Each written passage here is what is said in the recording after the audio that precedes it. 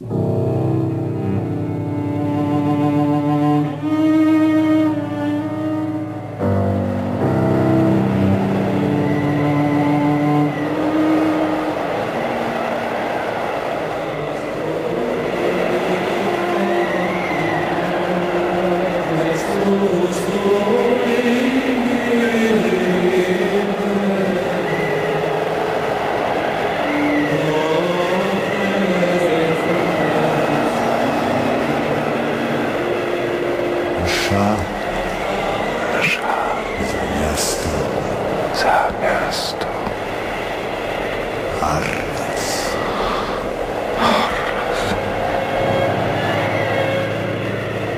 Słuchowisko według powieści Andrzeja Szczepiorskiego. Część druga.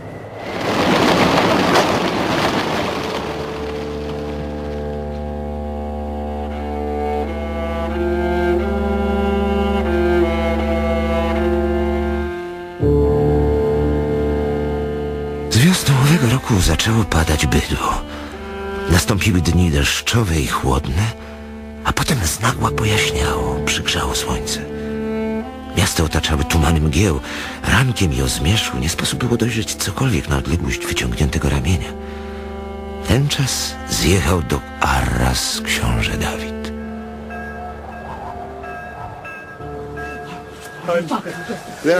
Panie, panie, ratuj nas, bogini! Ratuj nas. Nasze bydło pada! Robactwo w pełza do miasta Arras! Ludzie umierają, panie! Tak, ludzie umierają! Ciała ich rozkładają się niezmiernie szybko! Ratuj nas, panie! Wybuchają pożary! Nasze miasto ginie! Nikną nasze zapasy żywności, panie! Witamy cię z głęboką wdzięcznością, wasza wielmożność. Mało jest możnych tego świata, którzy by okazali podobną odwagę. Zwykle w godzinie zarazy dostojni ludzie uciekają, gdzie oczy poniosą, zdając na łup gawiedzi cały majątek. Ratuj nas! Ratuj nas, książę! Pomóż miasta! Ratuj książę! Tak. nas! Pomogę wam. Oto moje rozporządzenie. Nikomu nie wolno opuszczać murów miasta Arras. Jak to nikomu nie wolno? Nikomu też nie wolno wejść do miasta. Panie! Nakazuję pod karą gardła zniszczyć wszelkie dobro, którego dotykali zarażeni. Nakazuję zniszczyć wszelką żywność, której dotknęły ręce ludzi padłych od zarazy. Ja, ja, jakże to? No, mamy zniszczyć i tak szczupłe zapasy żywności! Ale dlaczego? Panie! Dlaczego? Po co? No jakiż to ma sens, panie! Panie! Tak nakazują medycy. Bardziej ufam nadwornym medykom niż wam. Ale- Zamknąć bramy miasta! Panie! Otoczcie mury kordonem straży! Żyć będziemy, panie? Panie! No skazujesz nas na zagładę! Na zagładę! Będę wam przysyłał wozy z żywnością. Módlcie się.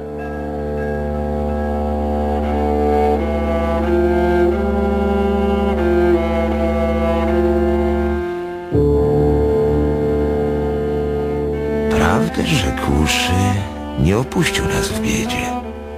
Co dnia suto ładowane wozy zbliżały się do Bramarras. Każdego ranka słyszano skrzypienie kół i krzyki woźniców. Lud gromadził się na murach, a wysłannicy biskupa opróżniali wozy. Potem odjeżdżali, a straż biskupia dozwalała nam otworzyć bramy, by zabrać żywność do miasta. Dzielono się sprawiedliwie. Niemałe w tym zasługi położył pan de Saks, człowiek wielkiej prawości i niezłomnego charakteru.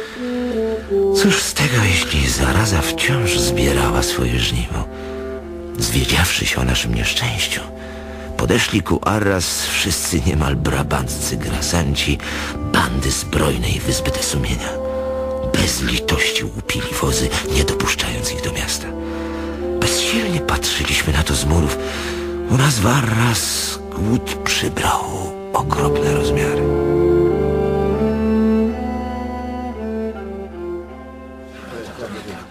Przywiegliśmy tę oto kobietę! Bowiem doszły do nas słuchy o popełnionym przez nią okropnym czynie! Ojcze! Co uczyniła? Powiadają, że ta kobieta zadusiła dopiero co wydane na świat dziecko. Ugotowała i zjadła, a wywar, który pozostał, oddała innym swoim dzieciom. Panie, Czy to prawda? Prawda?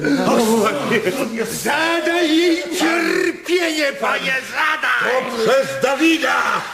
Dawid żywcem nas pogrzewa! ukaż tę kobietę, panie! Panie, ukaż ją! Niech za jej czyn spadnie na głowę biskupa! Zadaj jej cierpienie, panie! Panie! Ukaż ją sprawiedliwie! Nie zadam jej cierpienia. Co? Niech Bóg rozstrzygnie o jej losie. Będzie ścięta na zajutrz świcie.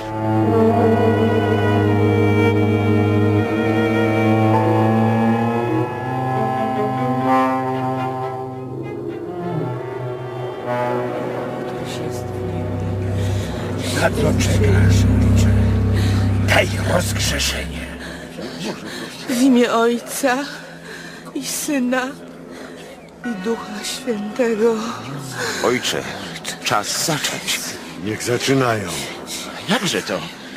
Trzeba przecież, żebyś rozgrzeszył ją na ostatnią drogę. Nie. Daj znak mistrzowy, aby ścinał jej głowę. Ojcze, tego nie uczynię.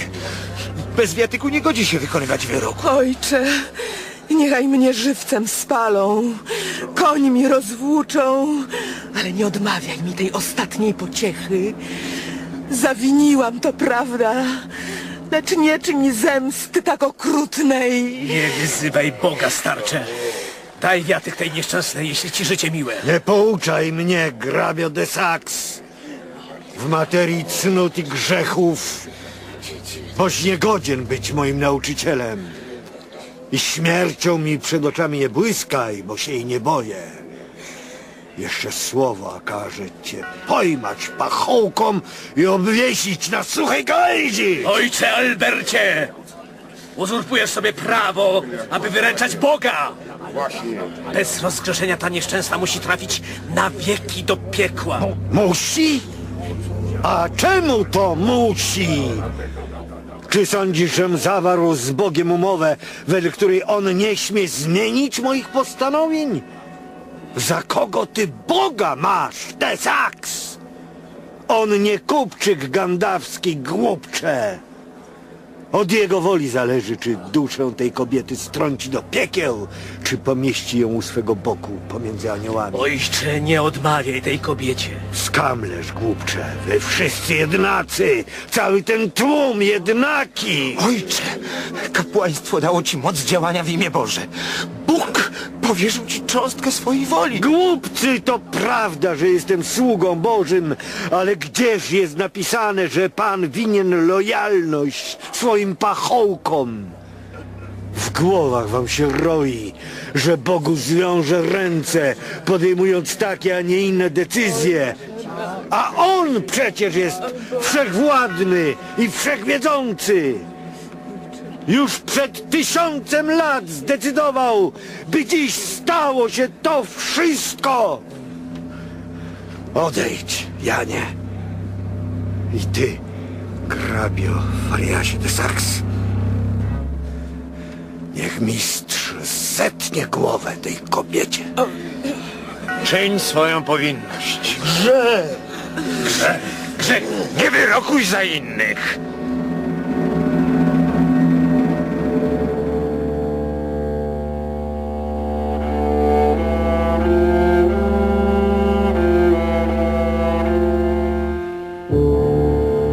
Nastał ciężki czas dla miasta.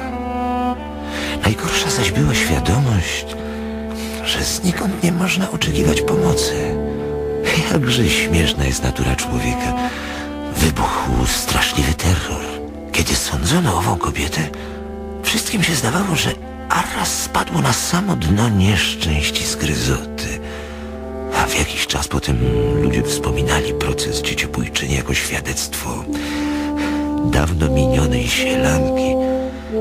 Miasto, w którym działają sądy, stanowi się prawa i wykonuje wyroki, nie jest miastem opuszczonym przez Boga.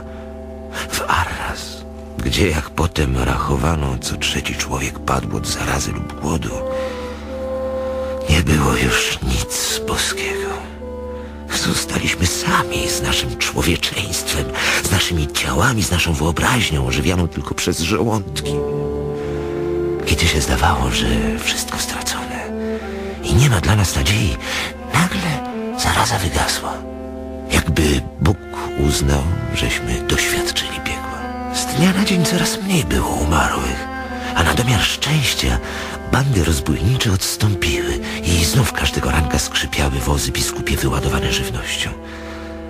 Zwolna wracała równowaga, ale przecież zachwiana i mdła, bo pewne doświadczenia wkorzeniły się w ludzką pamięć.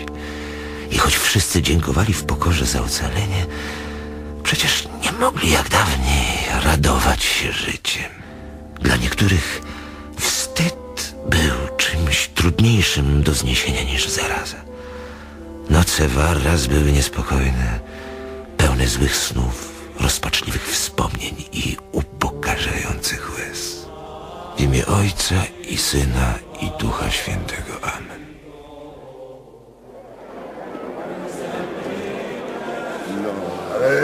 I błogosławię was, mieszkańcy srodze udręczonego Arras, w imię Ojca i Syna i Ducha Świętego. Amen.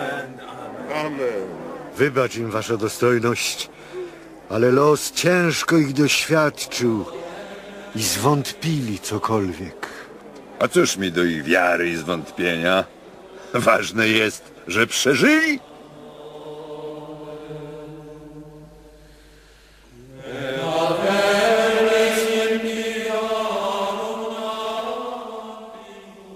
Widzę, że moje jadło wam w gębach rośnie. Cóż to za fochy, Janie? Bacz, abym ich nie poczytał za obrazę. Książę, nie sądź nas zbyt surowo. Kochamy cię jak dawniej i raduje nas uczta przy twoim stole. Ale inny mamy dzisiaj smak. Każdy kęs mięsa sprawia nam uczucie, o jakim brabanckie podniebienia nie mają pojęcia. Jedzenie stało się dla nas przeżyciem. Zresztą niezbyt miłym. Nie jesteśmy temu winni, książę. Arras zawsze miał skłonność do przesady.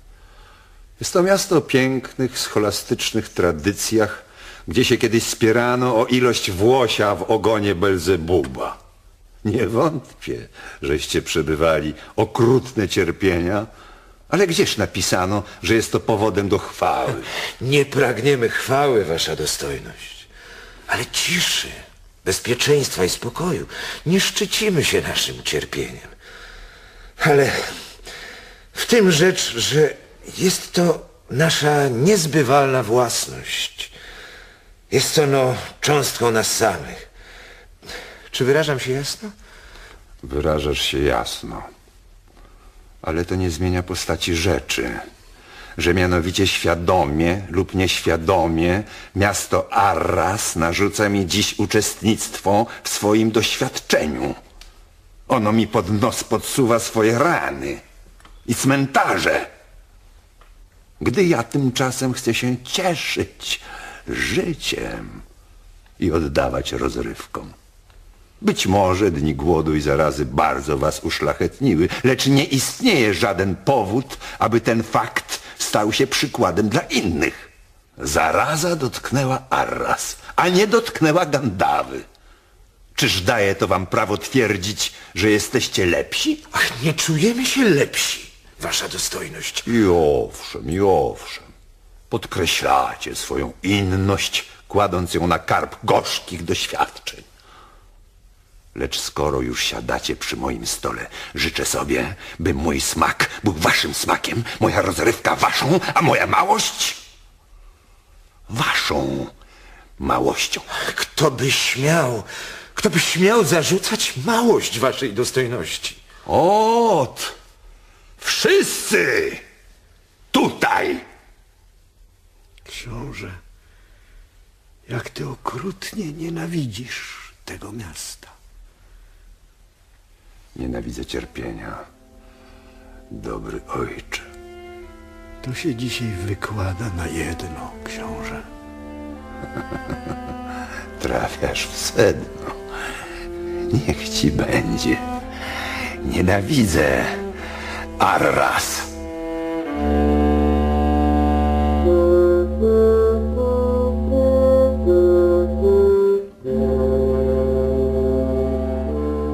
Nie wierzę, żeby w ten czas Dawid powiedział prawdę. Raczej dał wyraz niechęci do ojca Alberta i wyrzekł słowa, które miały tamtego skaleczyć. Podczas uczty wszyscy obywatele doszli do przekonania, że dobrze jest mieć ojca, pasterza, w człowieku silnym, twardym i pełnym radości życia. Już dawno zwątpili w Alberta. Prawdę mówiąc, Albert postarzał się i zmarkotniał po tym doświadczeniu. Sądzę, że tu właśnie należy szukać przyczyny, dla której obywatele przyszli do mnie, kiedy powiesił się Żyd Celus. To wszystko działo się zaledwie przed trzema laty. Czyż można więc zdumiewać się nad uczynkami obywateli Arras ostatniej jesieni? I czyż można się dziwić, że nie pojechałem do Dawida? Zgodnie z życzeniem Alberta poszedłem do ludzi, aby raz jeszcze rozważyć tę sprawę.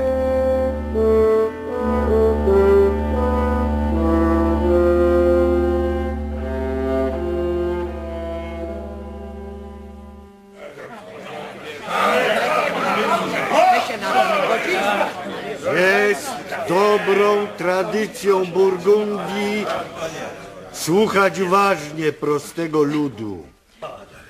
Nic w tym dziwnego, że od dzisiaj zasiadać będą w Radzie obywatele wszystkich stanów, bo tak przecież i dawniej bywało, gdy książę Jan rozlał krew armaniacką, aby się spodobać ubogim.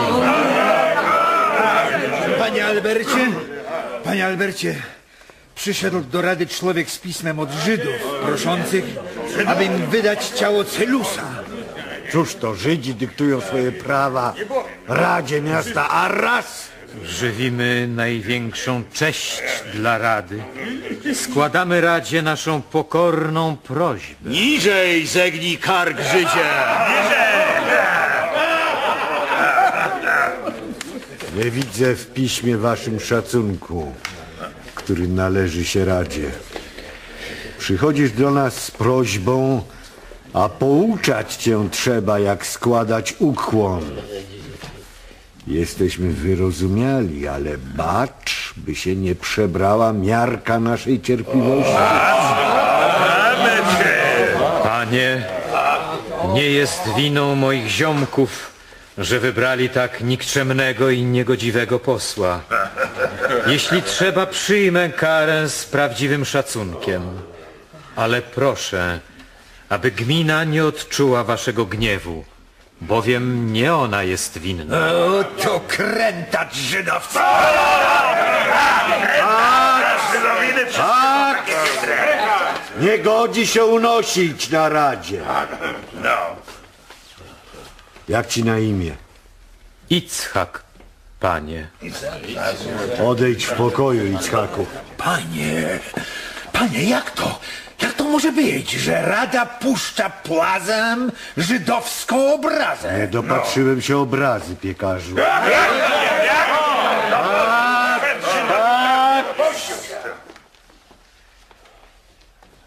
Mę! Czy istotnie sądzisz, że ten Żyd świadomie chciał poniżyć Radę? Tak sądzę. A ty, sukienniku Iwone, Ja tak sądzę!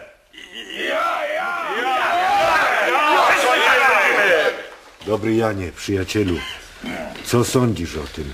Sądzę, że Żyd zachował się grubiańsko względem Rady.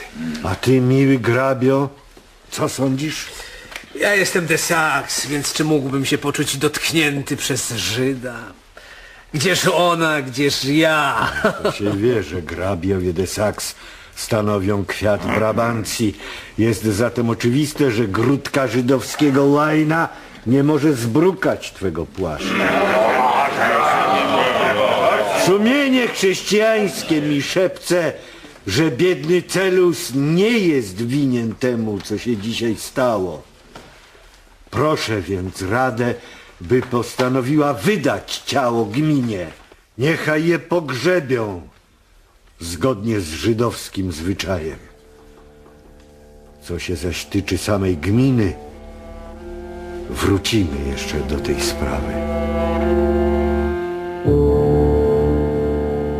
W imię Ojca i Syna i Ducha Świętego. Jakże rozpaczliwie zbudowany jest świat. Wystawcie sobie egzystencję wołu. Idzie w jarzmie pośród pól z nisko zwieszonym łbem w oczekiwaniu bata. Idzie na postronku do placów rzeźnych, a kiedy chcą go szlachtować, zgina kolana. Lecz niechaj dobry los uczyni go bykiem. Cóż wtedy? Próżno obarczać go jarzmem. Pozrywa postronki i stratuje każde pole. Pięciu rosłych ludzi musi go wlec na ubuja. Zdarza się nieraz, że im kości połamie, straszliwym rykiem napełniając powietrze. Całkiem odmienna staje się natura zwierzęcia, gdy ma poczucie własnej siły. Tak bywa i z ludźmi. Gdzież się podziała wstrzemięźliwość zacnych kołodziejów zaraz, którzy zasiedli na ławach rady? Samotną postać Żyda oblepiły spojrzenia rozjuszonych buchajów. Źle uczynił, mówiąc tak pokornie, bo nic im nie było w owej chwili równie wstrętne, jak właśnie pokora. Rozeszli się do swych zajęć pełni świętego gniewu.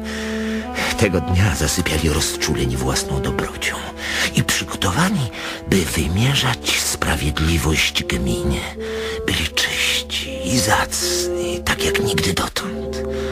U wezgłowia każdego stał anioł świętej wojny, którą już wypowiedzieli. Nie przystoi mi ganić panów tak szlachetnie urodzonych, jak hrabia de Sax, pan de Ville i pan Meunier. I nie czynię tego. Lecz przecież nie mogę oprzeć się zdumieniu, że oto właśnie dzisiaj, w tak uroczystym dniu, najzacniejsi z naszego grona siadają z dala, jakby czuli się dotknięci i urażeni. Bardzo to musi być przykre dla ludzi prostych i nie jest chyba czynem prawdziwie chrześcijańskim.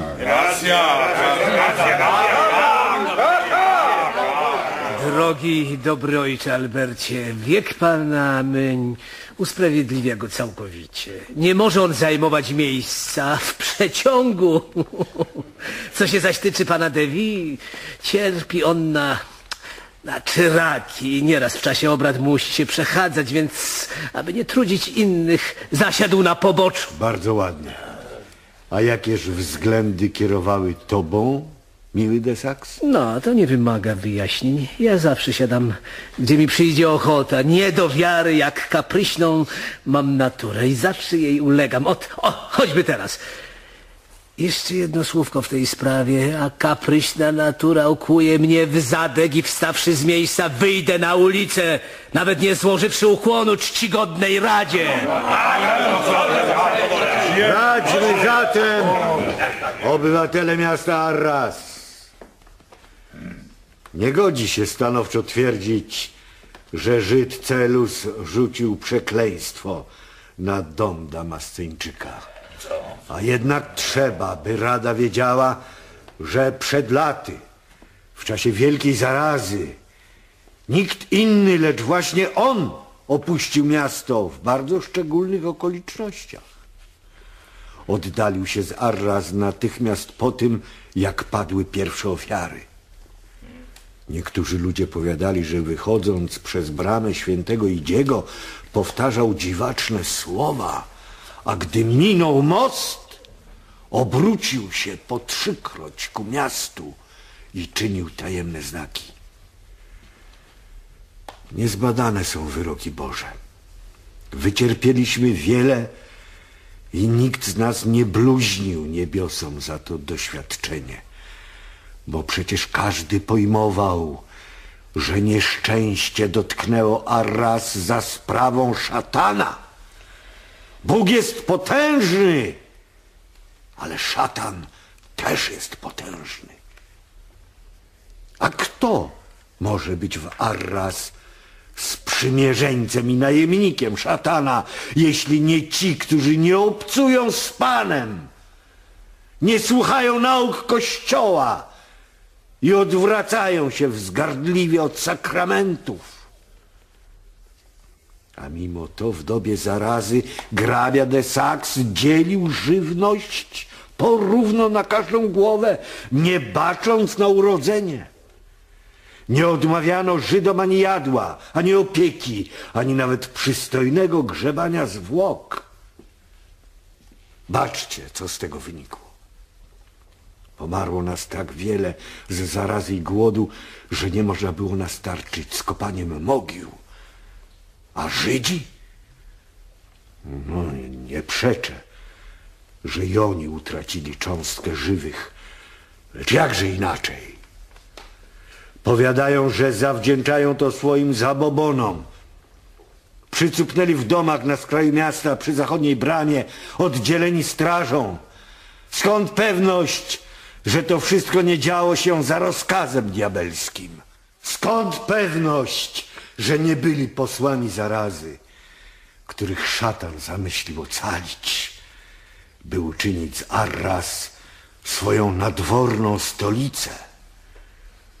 Wystawcie sobie, że całe miasto pomarło, a ocaleli tylko tamci, owa garstka sojuszników piekieł. Kościoły zbrukane, krzyże zdeptane, bramy Arras szeroko otwarte dla wszelkich nieprawości. Wielebny ojcze! Nie godzi się obarczać tych ludzi winą za wybuch zarazy. Bywało przecież, że zaraza spadła na miasto, w którym nigdy nie pojawił się Żyd. Nie czynię ich winnymi. Powiadam tylko, że każdy może być narzędziem Boga i każdy może być narzędziem szatana. Ale czyż nie łatwiej diabłu omotać żydowską duszę i uczynić z niej oręż zguby dla prawych chrześcijan? Mówiono, że w czasie zarazy przy zachodniej bramie pojawiły się trzy głowe psy z piekła rodem.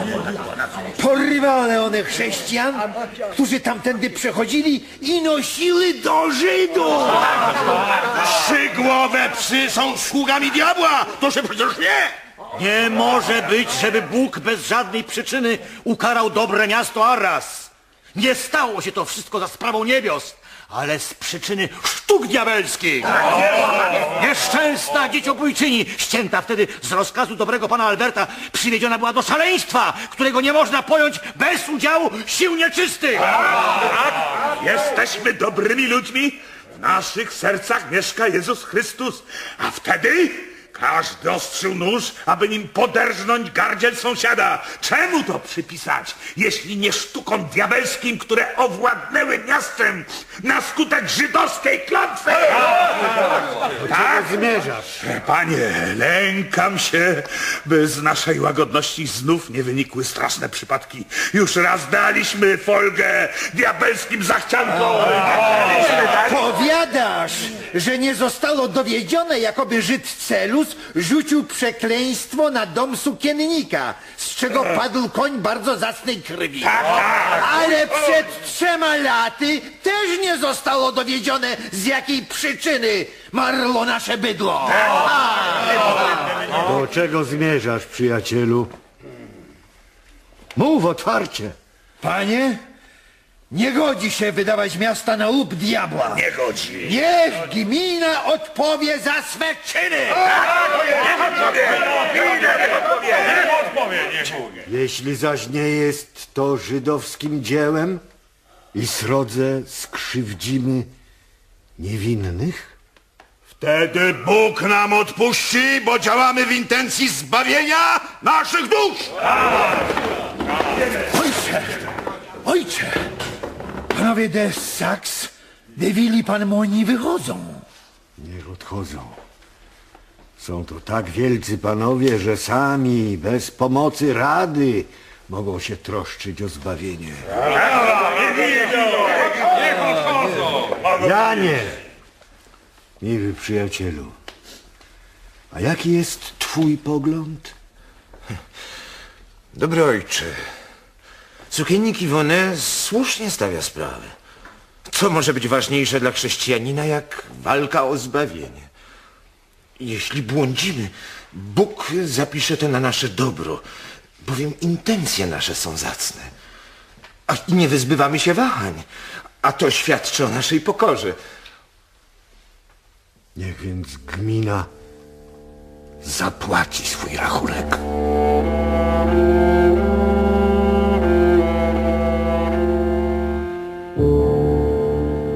Słońce stało nad miastem Arras blade i chłodne, jakby zakryte chustą. Postrzępione chmury płynęły nisko nad murami i mogło się zdawać, że nadleciały ku nam stada wielkich, nieprzyjaznych ptaków. Dzwon świętego fiakra, którego głos zdawał się zawsze czysty i dostojny, uderzał nader przenikliwie i głucho, jakby coś stawiało mu Dzwonnicy opowiadali potem, że przy pierwszym uderzeniu serca z kielicha dzwonu wyleciało stado czarnych kawek, a potem spadły w dół ciała zabitych ptaków. Nim nastało południe, Żyd Itzhak płonął jak pochodnia.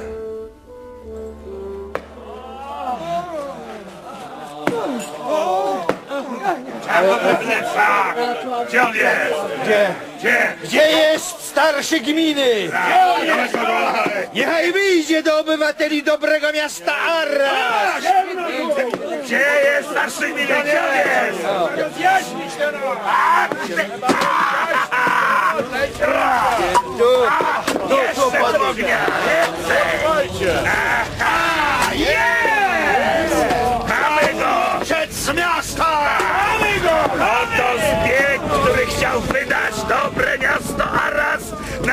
Diabła! Oto sprzymierzeniec szatana!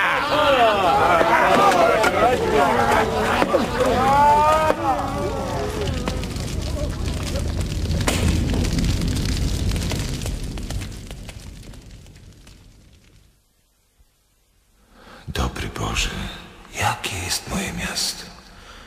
Winienem mu wdzięczność, albowiem wyniosło mnie na szczyty powodzenia.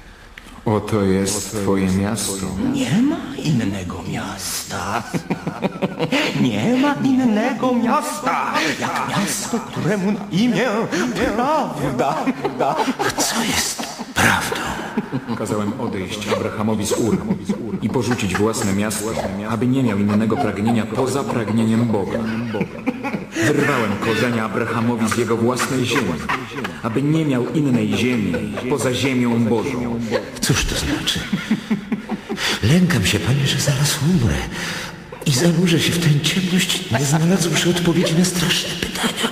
Cóż wtedy? Gdzie uleci moja dusza? Czy trakt, który wiedzie do nieba, zaczyna się poza murami Arras? Ja nie, Zamieszkam w mieście, któremu na imię Jan. Jezu Chryste, oszczędź to miasto.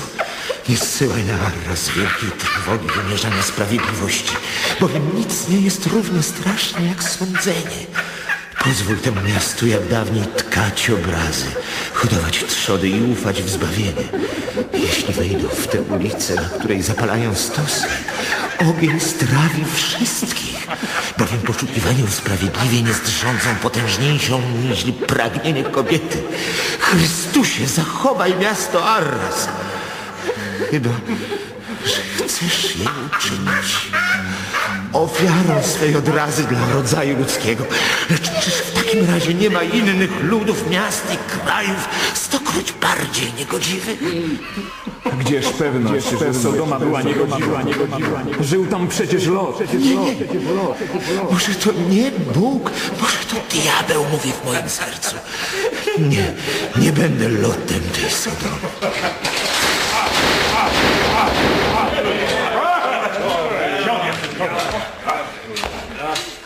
Oto pan Jan. Jakżeż to? Miasto drży w posadach, a ty chronisz się w kościele? Dobry pan Albert sprawuje sąd nad starszym gminy. Trzeba, abyś ty rzucił swój kamyczek. Winny! Winny. Winny!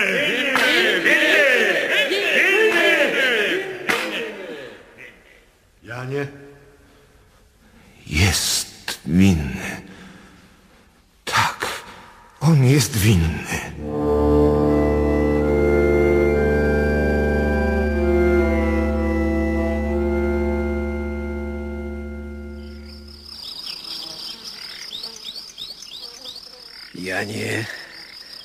Jedź do biskupa Dawida. To wszystko nie może się dziać bez jego wiedzy. Ale miasto nie życzy sobie przybycia biskupa. Zabieraj się do Gandawy, Janie. Tak czy inaczej, rzecz idzie o czary. Bez duchowego przewodnika miasto nie może stanowić wyroków. Przyjaciel de Sax, mamy tu swoje prawa i przywileje, których nie godzi się wydawać na łup biskupiej zachłanności. Gdyby szło o sady, bydło albo zboże, miałbyś rację. Ale sprawa dotyczy dusz ludzkich. Nikt nie udzielił miastu przywileju, by sądziło czary lub herezję. Wołałem ciebie, bo któż okaże się lepszym posłem na dworze biskupa? Doniesiono mi, że wielu ludzi padło dzisiaj w nocy, a domy żydowskie stanęły w płomieniach. Że są nam obcy, to prawda. Że więcej w nich zła niż w sercach chrześcijańskich, to prawda. A jednak, Janie, nie przyłączaj się do zwolenników gwałtu. Fariasie, skoro tak się dzieje Warras, widocznie musi się dziać, bo to sam Bóg kieruje naszymi czynami. Nie. Bóg dał nam rozum, wolę i bojaźń. Spytaj Boga, Janie, a odpowie ci, że możesz zostać w mieście i przyłączyć się. Ale możesz też iść do Dawida i będzie to twój własny wybór. W Bogu nadzieja. Mówisz, że to z woli Boga dzieje się w Arras nieprawość. Więc niech się Bóg martwi rozlaną krwią i sam sobie te winy odpuści. Jakże ci zazdroszczę, bo co do mnie to dręczę się każdym krzykiem dobiegającym z ulicy. Czy naprawdę sądzisz, że cokolwiek dzieje się poza tobą? Jestem... Jestem w ręku Boga. Ale i On jest w Twoim ręku, Janie. Bo jak Ty pragniesz Jego łaski, On pragnie Twojego zbawienia. Mówisz jak heretyk. Całe Arras jest takie. Oddaje się nieprawości, ale pozostaje bezgrzeszne, bo właśnie w tym widzi swoje unicestwienie. I w ten sposób wszystkie wasze grzechy składacie Bogu na ramiona. Jakież to łatwe, Janie. Niedługo nic już w was nie zostanie, ponieważ wszystko sedujecie na niebiosa.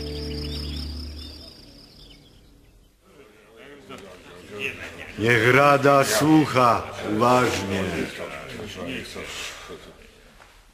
Przyszło mi na myśl, aby się wam zwierzyć. Najpewniej dlatego, że dzień dzisiejszy jest szczególny dla Arras i nigdy się nie powtórzy. Jestem sędziwym człowiekiem. Przybyłem do Artois z dalekiego południa, nie tyle dla potrzeby serca, co raczej z rozkazu zwierzchności. Kiedym wszedł po raz pierwszy w bramę Arras, byłem bardzo młody, a wy, którzy mnie słuchacie, byliście dzieciarnią. I tak oto spędziłem życie na nauczaniu was cnót chrześcijańskich. Chciałem tylko jednego, aby miasto spodobało się Bogu. Niebawem przyjdzie mi umrzeć i odejść z tego świata. Dzisiejszego ranka myślałem więc, co mi się udało, a co mi się nie udało. Coście zyskali dzięki moim naukom i pokornemu przykładowi. No, chyba godzi się przyznać, że wam zaszczepiłem wiarę w Boga i Jego świętych. Pod moją opieką przecieraliście sobie wąską ścieżynę do nieba. Jest ona kręta, kamienista i stroma. Niełatwo się wspinać. I właśnie dlatego, kiedy wozy idące z Serżą do Lille albo Calais wracają puste ku bramom Arras, ludzie nieraz sarkają. W szerokim świecie jawi im się życie pełne uciech i pokus, łatwych do zaspokojenia. Niektórzy więc powiadają, na cóż nam nauki dobrego ojca Alberta, jeśli mamy tylko jedno życie. Inni ludzie folgują sobie, ile się da, a w godzinie śmierci żałują za grzechy i zamykają oczy w nadziei, że im Bóg wybaczy. Tak mówią niektórzy obywatele. Nie rozumieją, że diabeł gada przez ich usta. Wczoraj odprawialiśmy sąd nad żydowskim plemieniem. Starszy gminy został stracony. I cóż widzę? Obywatele doszli do przekonania, że się wyręczą gminą. Że gmina spłaci wszystkie długi Arras zaciągnięte w niebie. Daj Bóg. Niepodobna wymyśleć nic równie głupiego i komicznego. Bo gdzie tkwi zło, które toczy miasto? Gdzie tkwi? Piekarz Muę wywodził, że tkwi ono w Żydach. I nie przeczę temu. Ale powiedz miły bracie, czy wyrywając żydowskie zło, wyrywamy również jego korzenie, które wrosły w chrześcijańskie dusze? Czyż nie jest to próba oszustwa albo gra w kości z Jezusem Chrystusem? Niektórzy obywatele uważają, że mogą się schować za żydowskie trupy i już ich nie dojrzy około opatrzności. Biedni głupcy!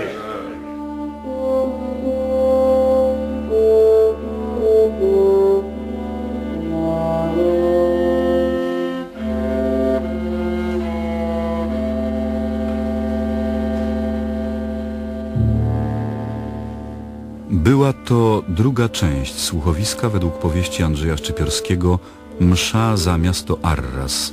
W słuchowisku udział wzięli Michał Pawlicki, Krzysztof Wakuliński, Krzysztof Chamiec, Henryk Talar oraz Bogusz Bilewski, Tomasz Zaliwski, Lech Ordon, Krystyna Królówna.